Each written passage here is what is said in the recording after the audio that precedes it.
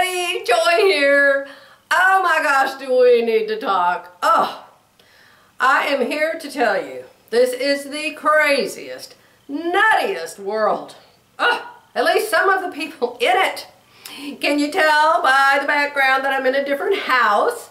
I'm back in uh, my Edmond, Oklahoma house.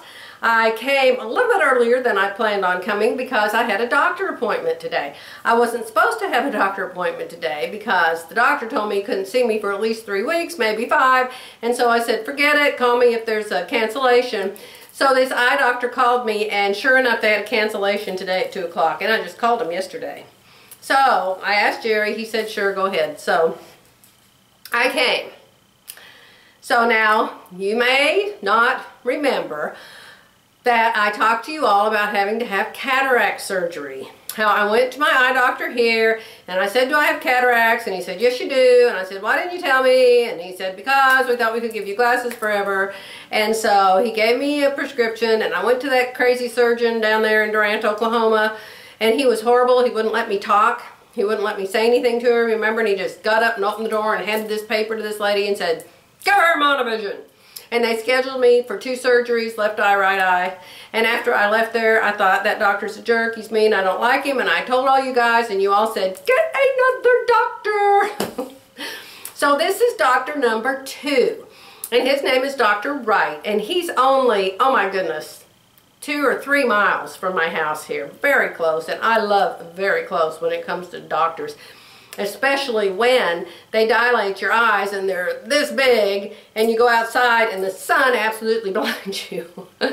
so that gave me some of those wraparound really strong sunglass things to put in my glasses so I was able to drive myself home. But anyway, the crazy nutty part is I told him I was there for him to recommend me to a surgeon to remove cataracts from my eyes. And I told him, this other doctor said I had these broken blood vessels in my eye and my eyes were about to fall out and fall apart. And I needed to have this cataract surgery right away. So this guy looks at my eyes. And, and first when I went in there, I told him that the other doctor never let me say anything. And I said, I hope you're going to let me talk because there's some stuff I need to tell you. And he was very, very nice. And he let me tell him all I wanted to. Well, you know, my 65-year-old memory bank. I kept forgetting to tell him stuff.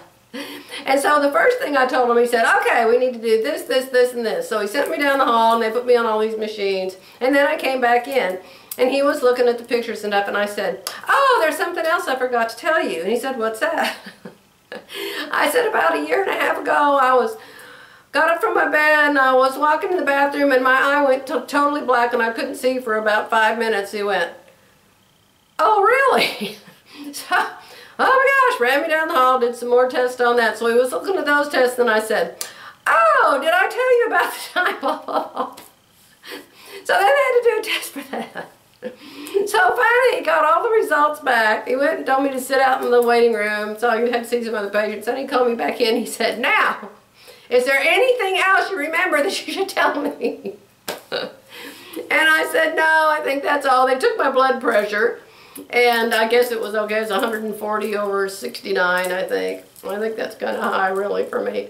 But um, the thing about it is, he took all of these pictures. I've paid extra for where they take the picture, the really close-up picture of your entire eyeball. And he showed them to me.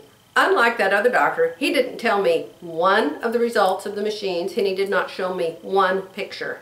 This doctor said, come over here and he showed me his computer screen and he showed me both eyes. And remember that nasty doctor in Durant said, you have broken blood vessels, you're high strung. I told this guy, that's another thing, oh, I forgot to tell you about the broken blood vessels. so um, that's why he had to dilate my eyes. And so he showed me, he said, your eyes are very healthy. He said, with contacts and glasses, you have 20-20 vision. He said, I don't know why on earth you think you need to have contacts out. I mean, cataracts. Con you know, I always say everything wrong, you guys. I told you the other day to put those muffins in the microwave, and you're not supposed to do that. You put them in the oven. So I'm not having, wasn't going to have contacts. I was going to have cataracts out. And he said, you don't need that. He said, you just got the beginning of them, very moderate. He said, it's probably going to be another five years before you even need to look into that. So, oh my gosh, what a burden off my mind. I was so happy that I made another appointment and came to him. He said, your eyes are very healthy.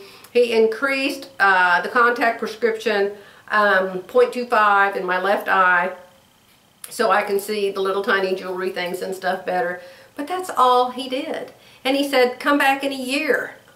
So, oh my gosh, I'm so, so relieved. I'm so glad that's over. I don't have to have laser holes in my eyes or cataract surgery or anything. And so then the next crazy thing is the mailman in this town. The mailman in this town refuses to deliver my mail.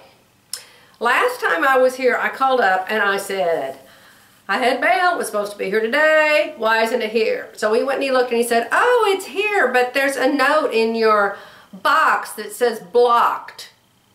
It just says blocked. I said, what's blocked? He said, well, I guess your mailbox, mailbox is blocked. I said, blocked by what? Blocked from what? Well, I don't know. It must be a mistake. but they made me drive clear to the post office to get my mail. So when I was in there, he said, what the deal? Make this mailman deliver my mail. So I got back uh, this morning. I went out, no mail in the mailbox. I called Ron, who parks his truck here every day, and he checks our mailbox when we're out of town. He said, you haven't had any mail for three weeks. He said, I check your mailbox every day. There's nothing in it. So I came back. I called the post office, put me on hold for 100 hours. Somebody finally came. He said, well, I'm not your carrier. I'm a different carrier, but I'll go look. So we went and looked, and he said, there was a note in my box that said, uh, to hold all my mail because I had a P.O. box. What? I don't have a P.O. box. I said, how can I have a P.O. box? I'm in a house on a street. P.O. boxes are at the post office. I said, if I have a P.O. box, where is it and what number is it? Well, I don't know. I'm just another carrier and I just answered the phone. I'm trying to help you. So I said, does my mailman have a boss? Is there somebody there I can talk to that is his boss or something? So they said yes. So that carried I said, thank you so much. I really appreciate you answering the phone.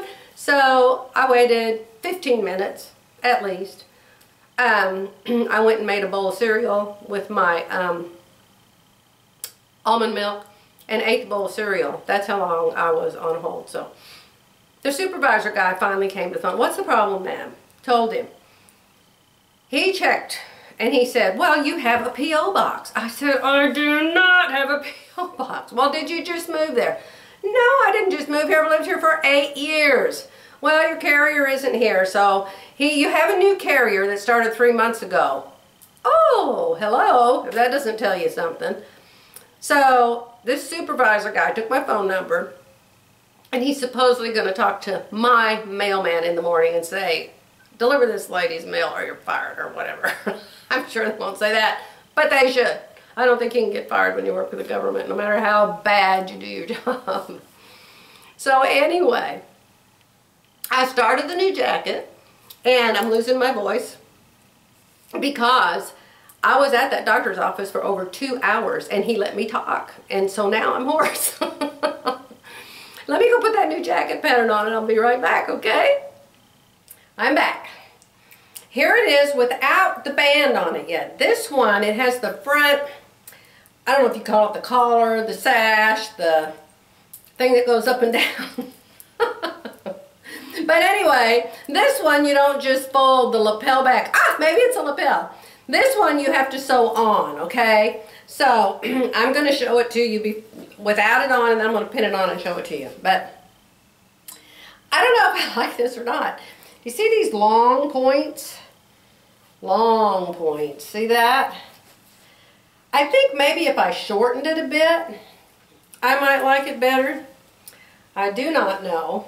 The back is just straight, but the back is,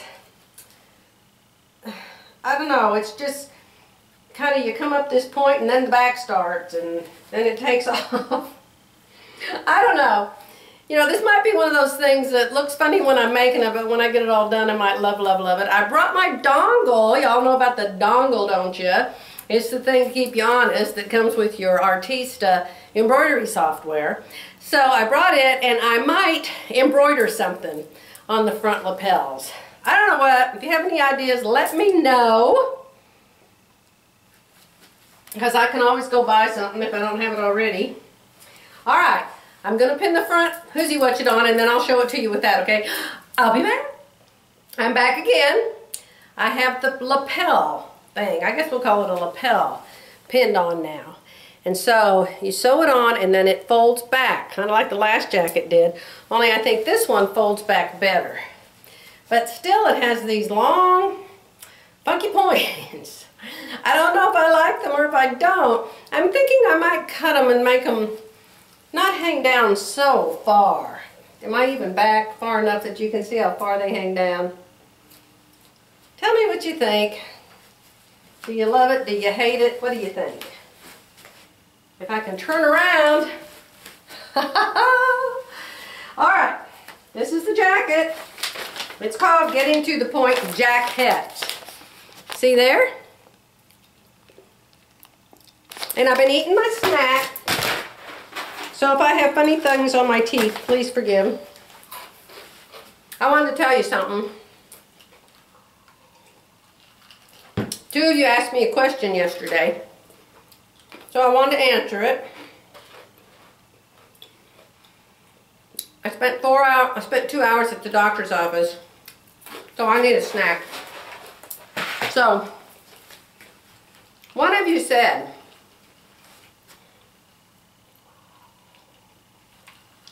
quit drinking that water and talk to us. One of you said, how do you get so many things sewn? She said she just, she worked and she didn't have that much time to sew. Well, that's the whole thing about it. I'm retired most of the time. I can work four hours we on our own business, and my computer at the house and my husband's computer at the house, this house and the other house, both hook up to our store, to our server or main brain or whatever you call it. So the little bit of work I have to do every week, I can either do from home or I can go in there and do. But my goodness, four hours a week at that, that's all I've got to spend.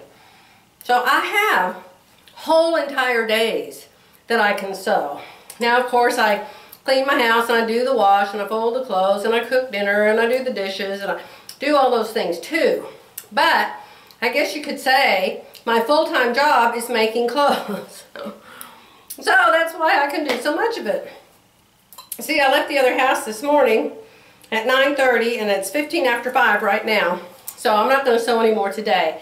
I'm going to do my blog for you guys since I'm in super fast internet town. Yay! And then I'm going to um, figure out what to do after that. I don't even know yet. My eyes are dilated, so I had to get inside out of the sun. But I seem to be, these lights are shining on me right now. I seem to be able to see okay. Um, oh, I wanted to ask you guys' opinion. Let me see. Joy, get back to what you were going to say. Okay. Two questions were asked me. I just answered one. Yes, I have a whole bunch of time to sew. Number two question was, do you make everything you wear? No. No. No. I made this. I made these pants. Y'all would ask me about pants. These are my Sure Fit Designs pants.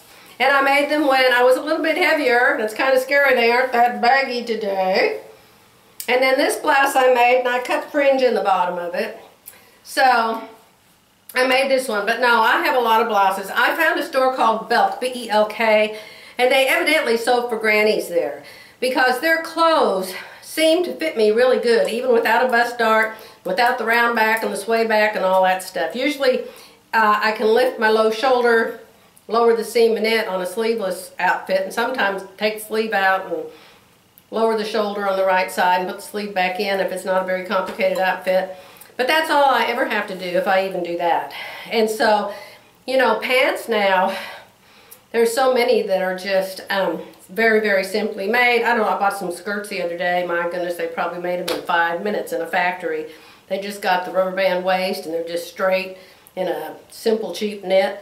And, uh, you know, they charge you 60 bucks for it and then say you can have it for half price and half price is 30 bucks and they probably paid two cents to make it, but whatever. I do wear uh, some clothes that I bought and a lot of clothes that I've made. Of course, the clothes that I've made, the fit is right, and I enjoy them the most. But no, that's not all I wear, okay? And I wanted to uh, ask your opinion on something else, but I think I'll save it for the next blog. okay? So, signing out on whatever day it is. It's a Wednesday, April 21, 2016, I think. So, I'll let you go for now because i got to go make a shake. Bye!